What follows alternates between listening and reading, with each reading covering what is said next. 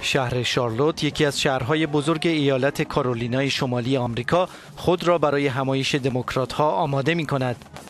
دموکرات های آمریکا روز سهشنبه رسما با برگزاری همایش سراسری خود باراک اوباما را به عنوان نامزد انتخابات ریاست جمهوری آمریکا که در ماه نوامبر برگزار می شود برمیگزینند.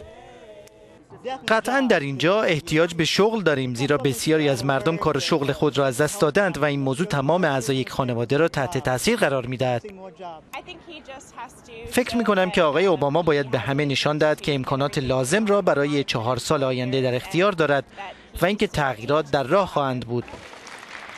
پیش بینی می شود میشل اوباما بانوی اول آمریکا با سخنرانی خود همایش دموکرات ها در شارلوت را افتتاح کند. پیش از این باراک اوباما با بازدید از مناطق آسیب دیده بر اثر طوفان استوایی آیزاک در ایالت لوئیزیانا واقع در جنوب آمریکا به مردم این منطقه وعده کمک و مساعدت داده بود.